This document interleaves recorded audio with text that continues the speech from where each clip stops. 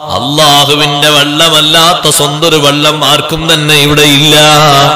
അപ്പൊ അള്ളാഹുവിന്റെ വിശാലമായ റഹ്മത്ത് അള്ളഹാനോട് ചോദിക്കുമ്പോ വളരെ അധികം മനസ്സ് വെച്ച് ആ റഹ്മത്ത് ചോദിച്ചത് ഏറ്റുവാങ്ങുന്നവരാകണം. അതിനല്ലേ നമ്മൾ പ്രത്യേകം റഹ്മത്തിന് വേണ്ടി കേണപേക്ഷിക്കുന്നത്? എല്ലാ ഘട്ടങ്ങളിലും ആ പ്രാർത്ഥന നമ്മൾ പാലിക്കണം. വിശുദ്ധ റമദാനിൽ പ്രാർത്ഥിക്കുന്നവരോട് ഞാൻ പറയട്ടെ ഉത്തരം കിട്ടുന്ന ഒരുപാട് സന്ദർഭങ്ങൾ റമദാനിലുണ്ട്. ആ സന്ദർഭങ്ങളൊക്കെ നമ്മൾ മുതലാക്കേണ്ടതുണ്ട്. നോമ്പുകാരൻ നോമ്പ് തുറക്കുന്ന നേരത്ത് ആദ്യം എന്താണോ ചോദിക്കുന്നത്? ആ ചോദ്യത്തിന് ഉത്തരമുണ്ട്.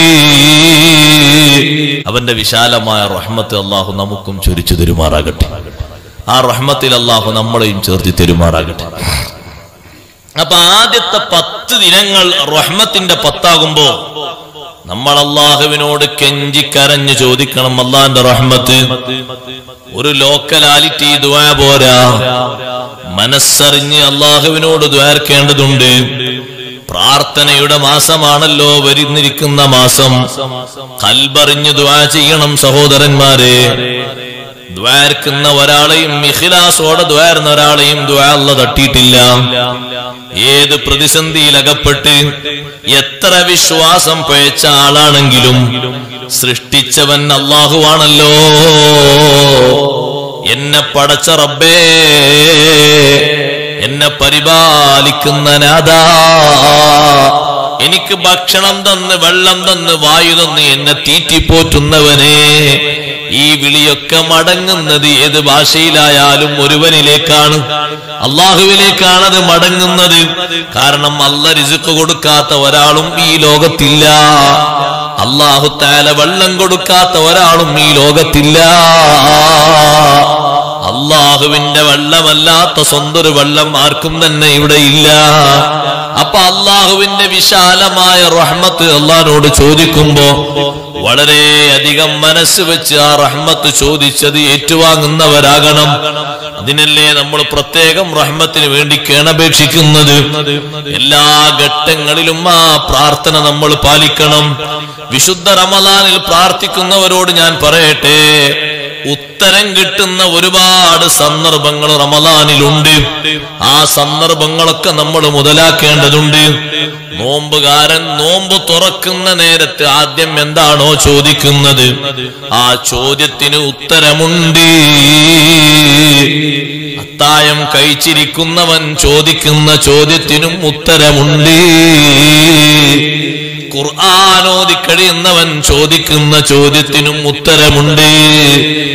ഹത്തുമു തീർത്തിരിക്കുന്നവൻ ചോദിക്കുന്ന ചോദ്യത്തിനും വിജാപത്തുണ്ട് ഇങ്ങനെ നൂറുകൂട്ടം നല്ല അവസരങ്ങൾ വരുന്ന ഒരു സംഗമ കാലമാണ് വിശുദ്ധ റമദാനിന്റെ കാലം. നമ്മളത് ലാഘവത്തോടെ കാണരുത്. അതിന്റെ മഹത്വമാ നബി സല്ലല്ലാഹു അലൈഹി വസല്ലം പഠിപ്പിക്കുന്നത്. റഹ്മത്തുൻ. ആ മാസത്തിൽ ആദ്യത്തെ പത്തു ദിനം റഹ്മത്തിന്റെ പത്താണ്. അള്ളാഹുവിൽ നിന്ന് റഹ്മത്ത് ചോദിച്ചു വാങ്ങേണ്ട പത്താണ് അള്ളാഹുത്താലോട് ചോദിക്കുന്ന ചോദ്യം അള്ളാഹുത്താല തട്ടാത്ത രീതിയിൽ.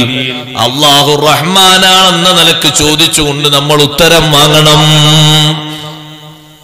ചോദിക്കുന്നിടത്ത് കൽബ് തുറന്ന് ചോദിക്കണം. അപ്പോൾ ആ ചോദ്യം അങ്ങോട്ട് കിട്ടും. കിട്ടണം എന്ന് വെച്ച് ചോദിക്കുമ്പോൾ എല്ലാ ചോദ്യം അങ്ങനെ. കിട്ടണം എന്നുള്ള നീയത്തോടു കൂടെ ചോദിക്കുമ്പോ ഒരു ചോദ്യം അള്ളാഹു തട്ടു. ചിലപ്പോ കുറച്ചങ്ങോട്ട് താമസം ഉണ്ടാകുമോ അത്രേ ഉള്ളൂ. അത് അത്രയും തോനെ ചോദിക്കാനാണ് തോനെ ചോദിക്കുമ്പോ അള്ളാഹു തലാക്ക് ഇത് ചോദിച്ചതിനേക്കാളും അപ്പുറം തരാനായിരിക്കും ഒരു പക്ഷേ തോനെ ചോദിപ്പിക്കുന്നത് അങ്ങനെ ഉണ്ടാവും. കുറച്ച് തോന തരാൻ വേണ്ടിയിട്ട് കുറച്ചുകൂടി തോന ചോദിക്കട്ടെ എന്ന് അള്ളാഹുത്തല നിശ്ചയിക്കാം അപ്പൊ ഇയാൾ ഇങ്ങനെ കേണപേക്ഷിച്ച് ഇങ്ങനെ ചോദിക്കുമ്പോ അള്ളാഹുത്തലക്ക് അയാളെ ചോദ്യം വല്ലാത്ത ഇഷ്ടമാണ് നമ്മളല്ലേ തോന ചോദിക്കുമ്പോ അല്ലെങ്കിൽ ആവർത്തിച്ച് ചോദിക്കുമ്പോൾ ചോദിച്ചതിനെ ചോദിക്കുമ്പോ ഒരു വിഷമം ഞമ്മക്കല്ലേ? മുലിഹീന അള്ളാഹു ഇഷ്ടപ്പെടുന്നത് ദുആയിൽ കീർത്തിക്കുന്ന ആളുകളെയാണ്. തരണം അല്ല തന്നെ പറ്റൂ അല്ല. നീ തന്നേ തീരുവല്ല നീ റഹ്മാനാണ് എനിക്ക് നീ തന്നേ പറ്റൂ. ഈ ചോദ്യം അള്ളാഹു തലാക്ക് ഇഷ്ടാണ്. നമ്മൾ സുബൈ നിസ്കാരം കഴിഞ്ഞ് കട്ടൻ ചായ കുടിച്ച് വീട്ടിലിരിക്കുമ്പോൾ ഒരു ടീം വന്നു നമ്മളെ വീട്ടിൽ അവർ വന്നിട്ട് ഒരു ഒരു മുറാദൊക്കെ പറഞ്ഞു. ശരി നോക്കാന്ന് പറഞ്ഞു. തൽക്കാലം ഒരു സലാം പറഞ്ഞു പോയി. രണ്ട് ദിവസം കഴിഞ്ഞപ്പോ പിന്നെ ഒരു വരാണ് പടച്ചോനെ ആൽ അറ്റങ്ങൾ ഇഞ്ഞും വരുന്നുണ്ടല്ലോ. നമ്മളിങ്ങനെ പതുക്കെ വന്നിരിക്കാൻ തുടങ്ങി. ഓൽ വന്ന് അതേ മുറാദ് പിന്നെ ആവർത്തിച്ചു പറഞ്ഞു. അങ്ങനെ ആയിക്കോട്ടെ ഇൻഷാല്ല ഞാൻ ഒരാഴ്ച കൊണ്ട് എന്തെങ്കിലും തീരുമാനം പറയാൻ പറഞ്ഞപ്പോ ഒരാഴ്ച കണക്കാക്കി പിന്നെ ഓൽ വന്നു. അപ്പൊ പിന്നെ നമ്മളെ അവസ്ഥ നേരത്തെ ഉള്ളതിൽ നിന്ന് മാറാൻ പോകുക ഇപ്പൊ നിങ്ങൾ കണ്ടോ രണ്ട് വട്ടം വന്ന് മൂന്നാം വട്ടം വരുമ്പോഴേക്ക് നമ്മുടെ അവസ്ഥ മാറില്ലേ? അള്ളാഹു ജല്ല ജലാലുഹു അങ്ങനെയല്ല. ചോദിക്കുന്ന ചോദ്യം കുറിക്ക് കൊള്ളുന്നതിനനുസരിച്ച് ഉത്തരം കൊടുക്കുന്നവനാണ്. കാലങ്ങളോളം ചോദിച്ചിട്ടും നിരാശപ്പെടാതെ ചോദിച്ചതുകൊണ്ട് അമ്പിയ മുർസലുകൾക്ക് അല്ലാഹു ഉത്തരം കൊടുത്തിട്ടുണ്ട്. ഔലിയാക്കൾക്ക് അല്ലാഹു ഉത്തരം കൊടുത്തിട്ടുണ്ട്. ഇബിലീസിന് വരെ അല്ല ഉത്തരം കൊടുത്തിട്ടുണ്ട്. ഇബിലീസിനോട് അള്ളാഹു തല പറഞ്ഞത് സ്വർഗത്തുനിന്ന് പുറത്തു പോണം. വൈന്ന അലേക്ക ലാനത്തി ഇലാ യോമിദ്ദീൻ. എന്റെ ശാപം നിനക്ക് ഒരു കൊല്ലം എന്നല്ല പറഞ്ഞത്. രണ്ടു കൊല്ലം എന്നല്ല പറഞ്ഞത്. ഇലാ യോമിദ്ദീൻ പുനരുദ്ധാരണ ദിവസം കഴിഞ്ഞ് ജസായിന്റെ സമയം വരുന്നത് വരെ എന്റെ ലാനത്താ നിനക്ക്. ആ ഇബിലീസ് അള്ളഹാനോട് എന്താ ചോദിച്ചത്? റബ്ബി അൻളിർനി ഇലാ يوم يبعثون റബ്ബേ എനിക്ക് നീ താമസം തരണം. എനിക്ക് നീ ദീർഘായുസ് തരണം. പുനരുദ്ധാരണ ദിവസം വരെ എന്നെ നീ ഇവിടെ താമസിപ്പിക്കണം. അതിന്റെ അർത്ഥം. മരിക്കരുത് എന്നാണ് അതിന്റെ അർത്ഥം. മരണ ഇബിലീസിനും പേടിയാ. പുനരുദ്ധാരണ ദിവസം വരെ എല്ലാവരും കബർന്ന് എണീറ്റ് വരുന്ന ദിവസം വരെ ഒരാളുടനെ പിന്നെ മരിക്കോ ഇനി കൊടുക്കാൻ മരണം ഖബറിന്ന് എഴുന്നേറ്റ് വരുന്ന ദിവസം അതാണല്ലോ യോമുൽ ബാസ് പുനർജീവിതത്തിന്റെ ദിവസം. അന്ന് വരെ എനിക്കിവിടെ താമസം തരണം. ഇത്രയും വലിയ ചോദ്യം ചോദിക്കുന്നത് എത്ര നൂറ്റാണ്ടിന്റെ ചോദ്യം അത്?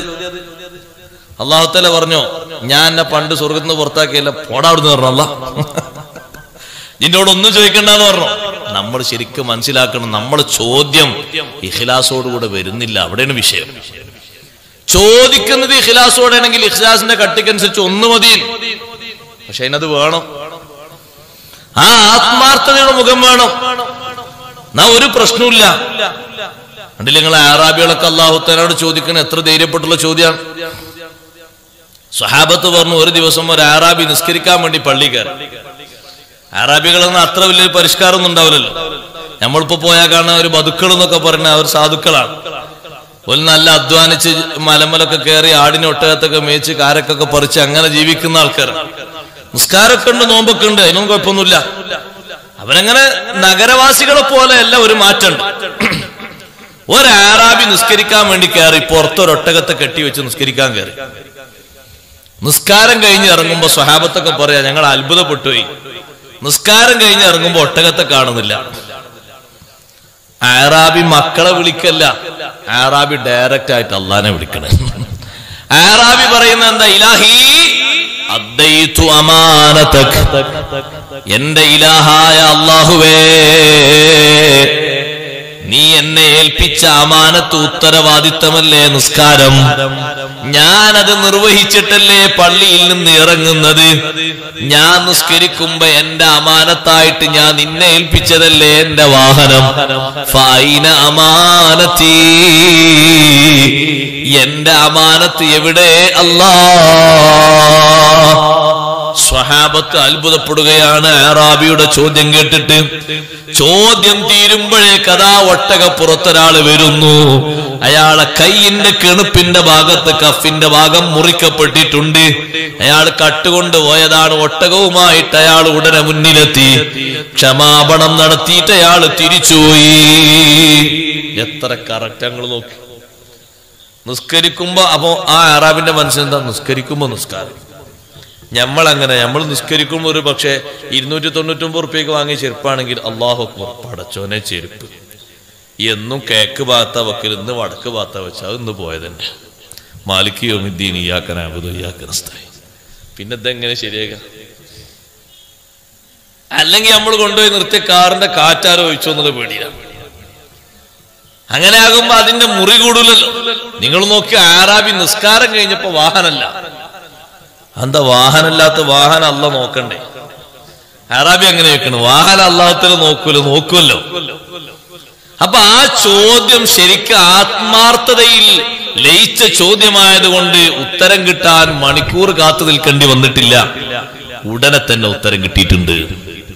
ഇബിലീസിന്റെ ചോദ്യം കണ്ടില്ല? നിങ്ങൾ നല്ല ഹൗഫുള്ള ചോദ്യമാണ്. എന്താ ഇബിലീസ് ചോദിക്കുന്നത്? മരിക്കരുത് എന്നാ. പക്ഷെ അങ്ങനെ ചോദിക്കുമ്പോ ഒരു മോശമല്ലേ? അതിനെങ്ങനെ ചോദിക്കുന്നു? റബ്ബി.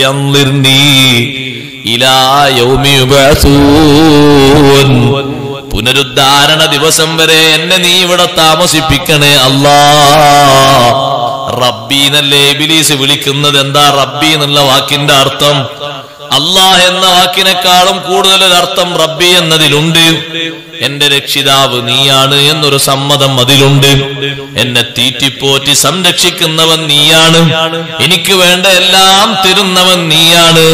ഇത് സമ്മതിച്ചുകൊണ്ടുള്ള ചോദ്യമാണ് റബ്ബി. ആ സമ്മതൊക്കെ സമ്മതിച്ചുകൊണ്ടാണ് റബ്ബേ. പുനരുദ്ധാരണ ദിവസം വരെ എന്നെ നീ താമസിപ്പിക്കണേ എന്ന് ചോദിച്ചപ്പോ അല്ല കൊടുക്കുന്ന മറുപടി. ഖാല ഇന്നക മിനൽ മുന്തരീൻ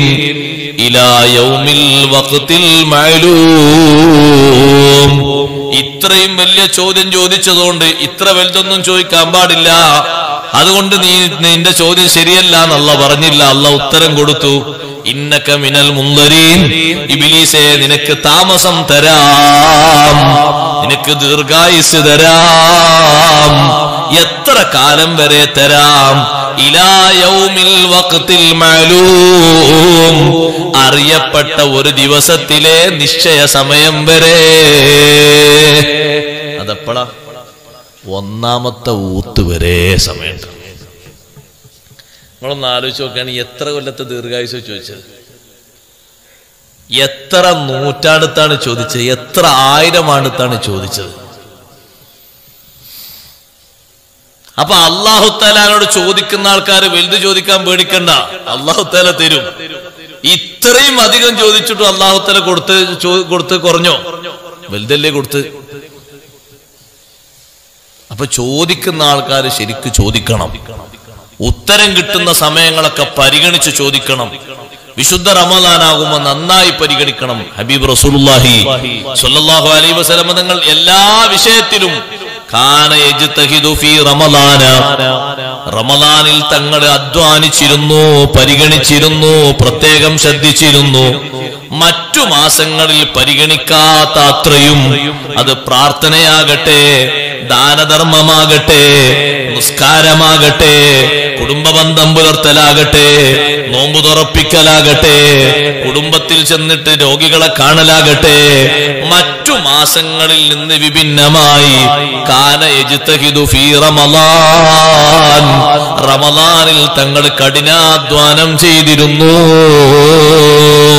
അത് പുണ്യങ്ങളുടെ പൂക്കാലമായതുകൊണ്ട് ആ റമദാൻ മാസത്തിൽ കിട്ടുന്ന സവിശേഷമായ ബഹുമാനങ്ങളൊക്കെ കിട്ടണം. ഒന്നും കുറഞ്ഞു പോകരുത് എന്ന് കരുതിയിട്ടുള്ള അധ്വാനമാണത്. അതുകൊണ്ട് തന്നെ വിശുദ്ധ റമദാനിൽ മൂന്ന് വിഷയങ്ങൾ പുരുഷന്മാരും രണ്ട് വിഷയങ്ങൾ സ്ത്രീകളും അധികരിപ്പിക്കണം. ഞാൻ അതിലേക്ക് വരുന്നുണ്ട്. പക്ഷേ കൂട്ടത്തിൽ ഒരു കാര്യം പറയട്ടെ. നേരത്തെ ഓതിവച്ച ഹദീസ് അവലുഹു റഹ്മത്തുൻ ആ മാസത്തിന്റെ ആദ്യത്തെ പത്തു ദിനം റഹ്മത്താണ്. നമ്മൾ അള്ളഹാനോട് റഹ്മത്ത് ചോദിക്കണം. പടച്ചോനെ നിന്റെ റഹ്മത്ത് കൊണ്ടല്ലാതെ എനിക്ക് രക്ഷപ്പെടാൻ കഴിയില്ല.